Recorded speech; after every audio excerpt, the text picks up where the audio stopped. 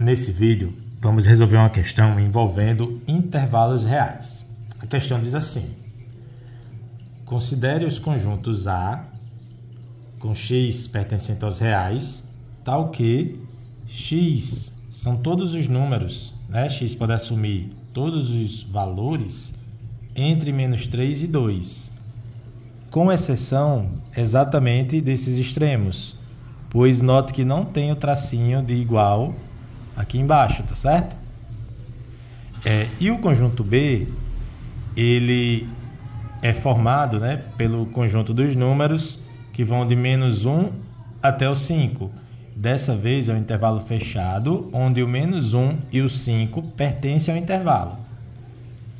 Vamos lá.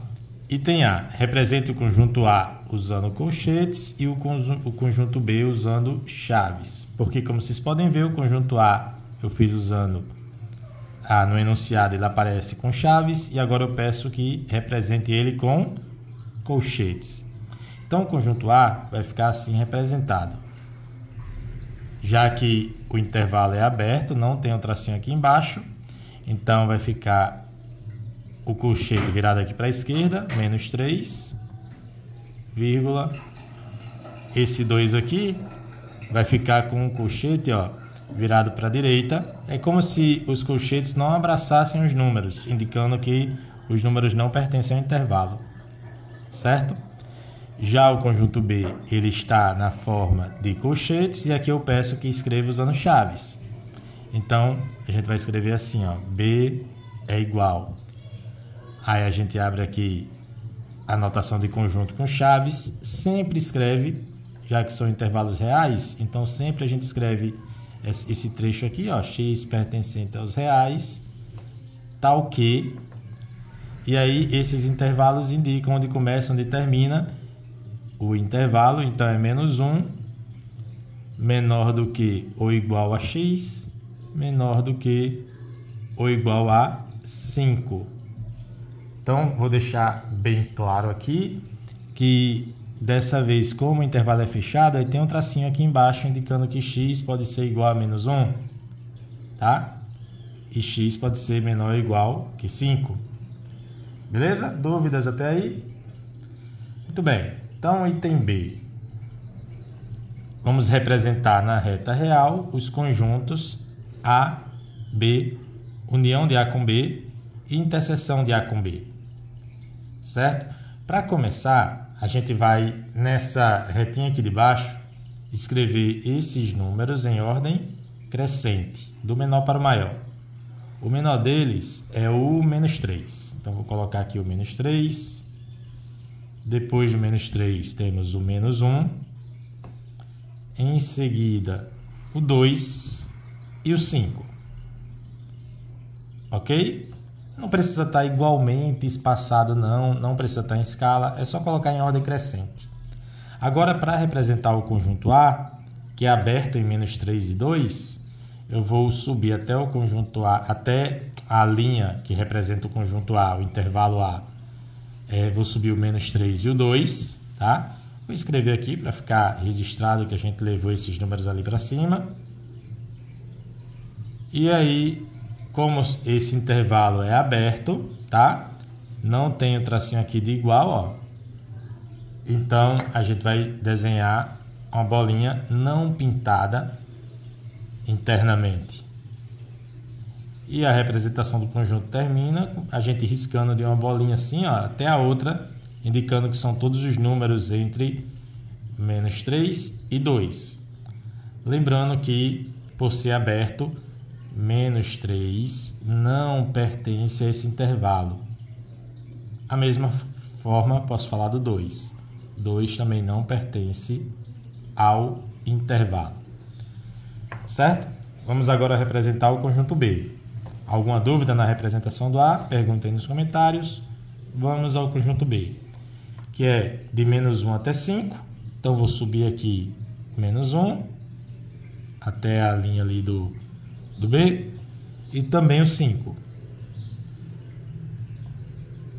E dessa vez, por se tratar de um conjunto fechado, pois aqui existe a igualdade, quer dizer que o x pode ser igual a menos 1 ou igual a 5. Então vai ser uma bolinha pintada internamente, ó. Ok? Em ambos, né? Nesse caso. Professor, pode ser uma bolinha pintada e outra não pintada? Pode acontecer. A gente já viu isso em outro exemplo, tá bom? Para finalizar a representação, a gente faz esses risquinhos. E agora a gente está pronto para passar para mais uma etapa da resolução dessa questão, que é representar a interseção e a união desses dois conjuntos A e B. Lembrando que a interseção é o conjunto formado pelos elementos que pertencem simultaneamente aos dois conjuntos. Note que esse trecho aqui ó, pertence, tem, tem elementos que pertencem ao conjunto A e esse mesmo trecho tem elementos que pertencem ao conjunto B. Então é esse trecho que vai fazer parte aqui da interseção. E somente esse trecho. Porque aqui, ó, esse outro trecho pertence ao B, mas não pertence ao A. E aqui pertence, esse trecho aqui pertence ao conjunto A, mas não pertence ao B. Esse trecho tem elementos que pertencem simultaneamente ao conjunto A e ao conjunto B. Finalmente, como a bolinha aqui é fechada e aqui o número é, menos 1 ele também está aqui, ó, ele também pertence a esse conjunto A, então aqui a gente vai colocar também uma bolinha fechada na interseção, indicando que o menos 1 pertence também a ela, tá? pois o menos 1 está nos dois conjuntos. Já o 2, ele não pertence a A, ele até está aqui no B, ó. aqui tem o 2, Professor, o senhor colocou agora. São todos os números de menos 1 até 5, inclusive os dois, tá? que formam o conjunto B. Mas como eu quero a interseção e o 2 não pertence a A, então o 2 não vai pertencer à interseção. Beleza? Bolinha não pintada, tá certo? Muito bem. E aí, se tiver dúvida na interseção, me pergunta, se não, vamos dar início aqui à união. União de A com B. É só pegar todos de A, que começa aqui no menos 3, já vou colocar a bolinha aberta. Todos de A, todos de A iria até o 2. Confere? Iria até o 2. Seria também uma bolinha aberta. Mas ao pegar todos de A, eu junto a eles todos de B. Ou seja, juntaria aqui a partir do menos 1 até o até o 5. Note dessa forma que a união vai do menos 3 até o 5, aberta em menos 3, fechada em 5. Beleza? Bom, para finalizar a nossa questão, a pergunta é qual o menor número inteiro que pertence à interseção? Então, é o menor? que pertence à interseção, tá? O menor inteiro que pertence à interseção é o próprio menos 1. Dúvidas?